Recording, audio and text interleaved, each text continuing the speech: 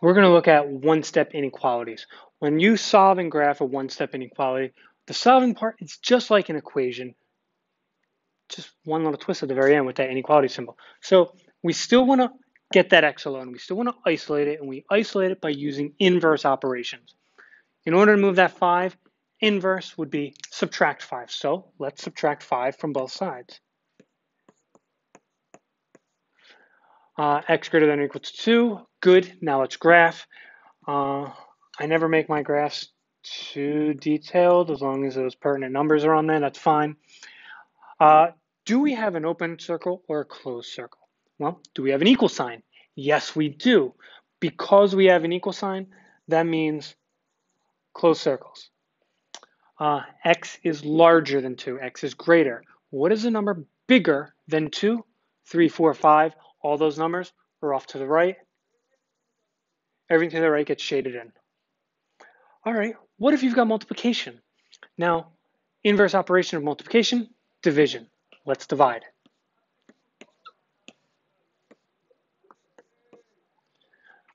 Left with negative 4.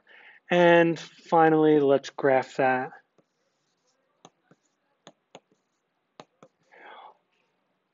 Open circle, closed circle. Do you see an equal sign? No. So that means we have an open circle at that negative 4. X is less than negative 4. What's a number smaller than negative 4? What's worse than owing $4? Owing $5, $6, $7. Owing money, owing more, off to the left. Now, I have a problem that's very similar. The only difference is that negative out in front. And something huge is going to happen here. All right, so let's start this off the same way we started all the other ones. Let's divide.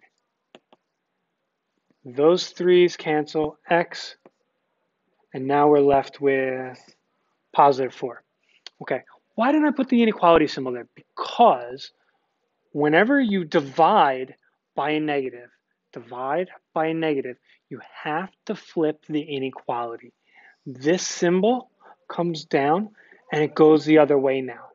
Whenever you multiply or divide by a negative, we have to flip the inequality. So when we graph this now, open or close, well, it's still going to be open, no equal sign. X is greater than, X is bigger, X is larger. Where do you have larger numbers? 5, 6, 7, and 8. Everything off to the right.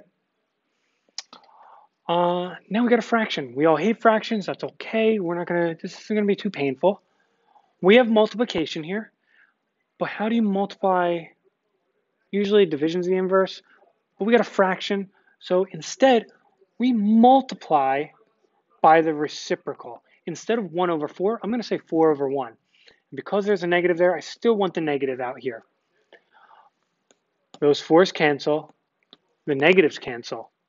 I'm left with just x. Got to do it to the other side as well.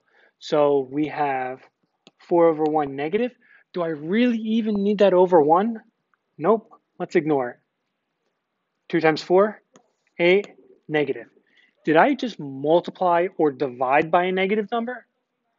I multiplied by a negative. Yes. When that happens, flip the inequality. It goes the other direction. Uh, now when we graph,